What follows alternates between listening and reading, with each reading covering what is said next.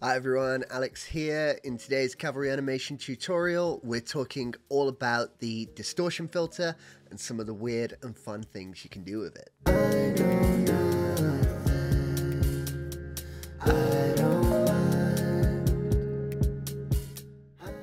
Okay, so today is going to be a bit of a fun one. We're going to be diving into some abstract stuff like this. We're also going to be having a look at some distorted text and maybe some ways that you can create a metaballs effect, all using the distortion filter. The other great thing about this one is that I believe it doubles down on one of the core fundamentals of what Cavalry is about, and it's reusing nodes and layers so that you're not creating new things all the time and just teaching you that sort of mindset. So we'll get to this thing in a bit, but for now we'll start with the text and just the basic uses of distortion. So I've got just a text shape in this scene at the moment. Let me move that up a little bit. I'm going to select the text shape, going to go to filters, and I'm going to add a distortion filter. So when we press play now, we can see that the text is distorted, but also it's getting cropped around the edges of the text shape. And that's because if you select the text shape, there's a bounding box on here and it's effectively cropping where the bounding box of the text shape is. So the first thing you're going to want to do is load the distortion into the attribute editor. Look for this attribute here called padding, and we're just going to increase that. Just give it loads of space. So as it stands right now, it doesn't really look all that useful. Yes, it's distorting the text, but what is it? What is the purpose of what distortion is doing? Right, so I turned amplitude down to about 11. I'm just going to increase it to about 20. I just didn't want it distorted as much as it was, just so we could see what's actually happening. If you open the shaders tab on the distortion filter, you'll be able to see that the currently active input shader is a noise shader. So if you go up to show preview and just check this, you can then see a preview of the noise. And the best way to explain where this is distorting and where it isn't distorting is that it's choosing the darker areas of the noise to distort the most, whereas the light areas remain sort of non-deformed, like the R here is pretty much normal, whereas the D, which is completely black, is torn apart. I think a good way to demonstrate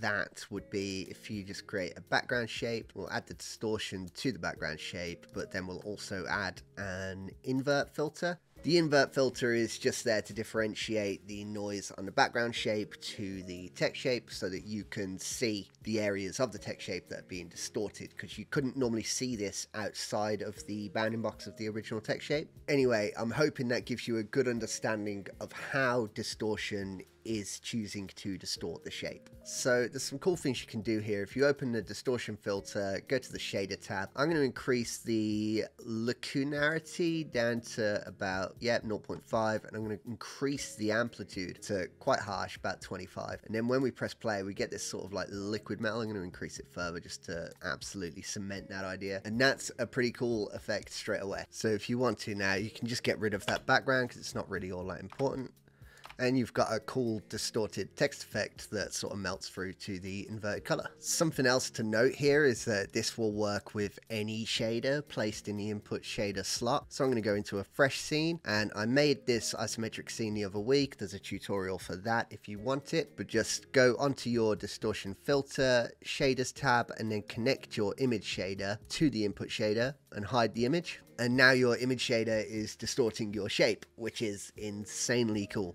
All right, moving on because we've got a lot to show you. I'm going to create an ellipse and I'm going to add a distortion filter to the ellipse. I'm going to go to the fill tab. I'm going to right click shaders, add shader, multi-point gradient shader. When you click the multi-point gradient shader, you'll see that you've got these two points in the viewport provided you've got the select tool active. And then on the distortion filter, go to the shaders tab and we'll do what we did earlier and we'll drag a connection from the multi-point gradient onto the input shader, replace connection. We also need to increase padding on the distortion. I keep forgetting that one. And this is a really quick way to get a cool metaballs effect out of cavalry without really having to do much. You can also, on the multi-point gradient, you can alt click to duplicate these points, which is pretty cool. So that's a super quick metaballs effect that you can get. You can just keyframe these, change their intensity, do all sorts with them just to change how that looks.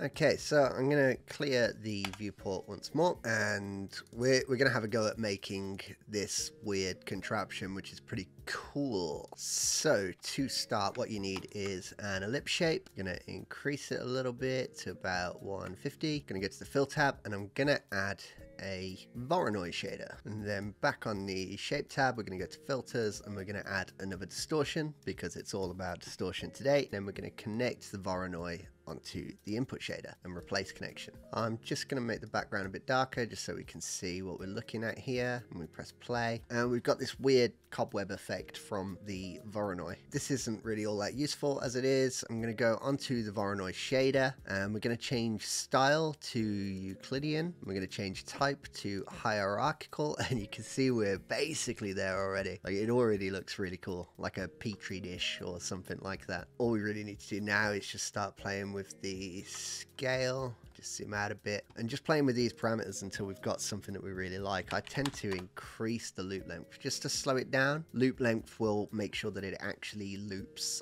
say, so I've got it 120 frames. At 120 frames, it will actually loop there. So if we move Let's go to the playback. We'll go for 119 because zero counts as a frame, so 119. This should loop around when we get to the end.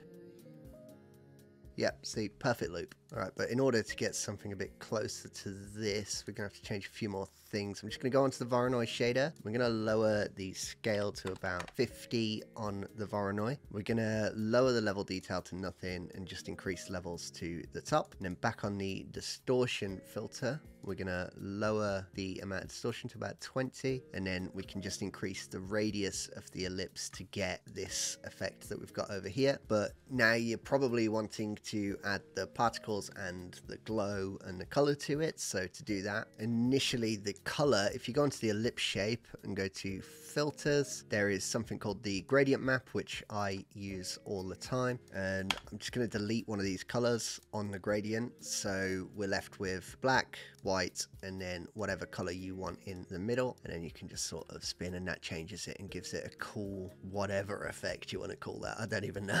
So in order to add particles to this, we're going to press the particles button up in the shelf. We're going to go to the particle emitter and we're going to change emitter shape to input shape and we're going to add that ellipse onto there. We're going to change direction type to outwards, move over to the particle shape in the scene window. We're going to change gravity to zero. And then on the modifiers, we're going to right click, add modifier, flow field modifier, then go over to the visual tab of the particle shape, select scale over lifespan, and we're going to give it a bell curve just so that they fade in and out as we'd sort of expect. And it already looks pretty cool. We probably want to increase the length of our composition actually one sec. So yeah, that's looking about where I'd want it to look. If you want to add that extra glow that I sort of had, I didn't actually use a glow filter. I used the background shape, went to the fill tab, added a multi-point gradient shader to the shaders, and then I put the white point in the center, duplicated these black points all the way around. I then just connected the influence from all of the darker points to each other just like that and then you can increase the influence on one it distributes it like it's glowing and that's how I made that really quickly. There was a little bit of the edges that I wasn't entirely happy with, so I just went onto the ellipse shape and I did go for a blur, but not that strong a blur. So quite literally, I think I took it down to about one, not even one just to smooth it out a bit and it just looks a little cooler. I also changed the particle visual color, got rid of that green because I didn't want that, just to white, and then just lowered the opacity on the particles to about 25 because you don't actually need them to be in your face. And it's perfect. It looks really cool. It's like a, an amoeba of some sort. I guess if you wanted to take it further, you could lower the size of the ellipse shape We'll group the particles and the ellipse, and then I'm going to select the group, duplicate it, and we'll go for a random, but we'll lower this to about 8 because we probably don't really need them. And we'll increase the size on here just until you've got something that you're happy with there. If you want to spread them apart because they're overlapping, you can just check this relax option on the duplicator and just increase the relax distance. They should start spreading a bit. Yep, just so you can see them individually and then probably go back to your ellipse shape and just add a bit of a random to the radius. Uh, we've lost it, but if we go to, I don't know, somewhere between a minimum of 50 and a maximum of 250, oh, we can lower that maximum actually, just to give them, yeah, that looks a bit more sensible. I've just realized the particles, they don't actually need to be inside that duplicate, so I'm just going to remove the particles, sorry about that. Then I'm going to go to the emitter shape, and I'm going to swap the emitter for the duplicator, and that should emit the particles from all of the duplicates now, quite nicely. Really cool, simple effect well worth trying yourself. As always, I know that you guys are probably going to do something way cooler than this with it, but we're not done yet. There's one more really cool thing I want to show you. Whether it's going to be as cool as that, I don't know. So, brand new composition, and we're going to create a background shape. We're going to add a distortion filter to the filters tab of the background shape. On the fill tab of the background shape, we're going to add a Voronoi shader, and then we're going to connect the Voronoi to the distortions input shader. Just replace that connection there. I'm going to open the Voronoi shader and we're going to increase the scale to about 300 by 300 and it should fill the screen like this. I'm also going to increase the background shape a little bit, not too much, just to like 1.4. Now we need to change the Voronoi shader's style to Euclidean again, and then move over to the distortion shader, and we're going to switch direction mode from lens to directional. And we press play, and we've got this really awesome liquid metal effect again. Let's just double the loop length just to slow it down. And it's badass, really cool little trick. And then when we start adding the gradient map to it again, we get insanely cool effects. Really awesome. So I'm going to leave it there. I feel like I've covered a lot. I've shown you some really cool stuff that you can do with the distortion filter. Hopefully you make some insanely cool things. Tag me with it on Instagram and let me see it. I want to see everything you're making and just let me know what else you want to see. Thanks for watching. I hope the rest of your day is wonderful. Happy animating and I'll see you on the next one.